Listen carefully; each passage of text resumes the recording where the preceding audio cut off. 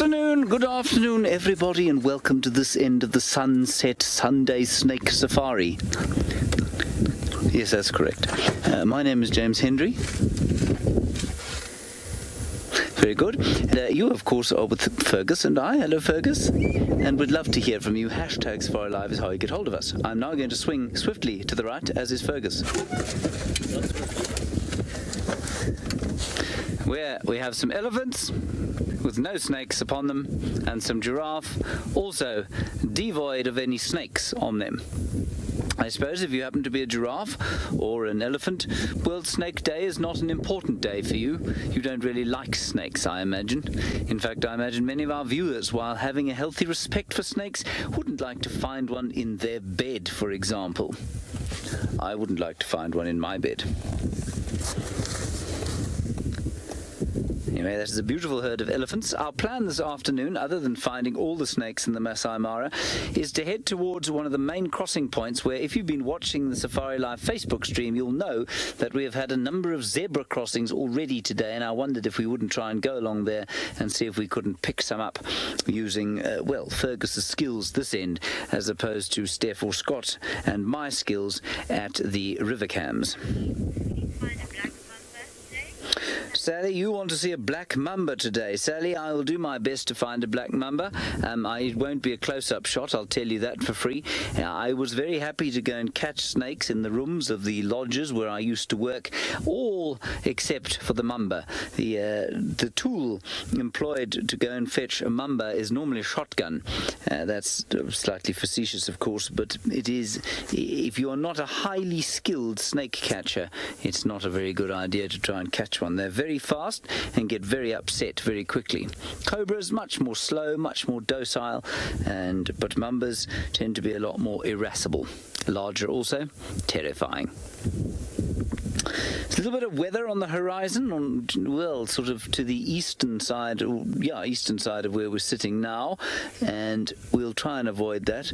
The last time Fergus and I came out, we were attacked mercilessly by a vicious storm that uh, came in from the south. If we look over there towards the sort of northeast, you can see a blackening of the skies. But I think, if I'm not mistaken, the wind is blowing that away. I think it was sitting on top of us a little bit earlier.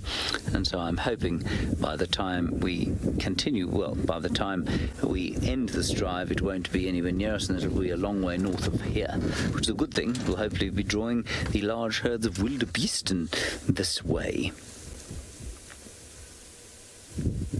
Marvellous. Right, we're going to continue. See if we can't catch up with one of the crossings. It is a glorious day. Apparently, I'm told about 24 degrees Celsius, 75 Fahrenheit.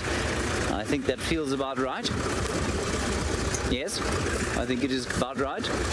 But some chilly mornings of late. Huge amount of rain yesterday. And well, it's just very inspirational to be out of here. And I hope many of you who watched enjoyed our TV show on Friday. Willow Wanderer, you're wondering about if there are many kinds of snakes here in the Mara. Uh, yes, there are many kinds of snakes. There are different kinds to the Sabi Sands. Um, I, I think one of the most obvious different ones is something called a red cobra, which is unsurprisingly a cobra that is red. Jumbo. I don't know.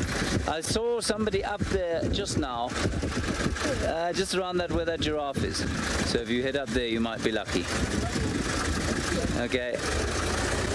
He asked me where the lion was. I don't know where the lion was. I moved on swiftly, of course, because the person in the back seat decided he'd take a picture of me. It does astound me how many people will um, see you and then just start taking pictures. I mean, would you go up to somebody in a shopping centre and just start taking pictures of them? No, I don't think you would. Anyway, the, red cobra is one of them. Scott Dyson has a puff adder skin, which I have uh, pilfered from him and put into the studio, or into the migration control as we now call it, uh, this big. I've never seen a puff adder that size in the Sabi Sand in South Africa. So I guess we can see bigger puff adders. But I have to say, uh, snake-wise, I haven't seen a snake here yet, and so I really am not very sure as to what's going on with all the snakes.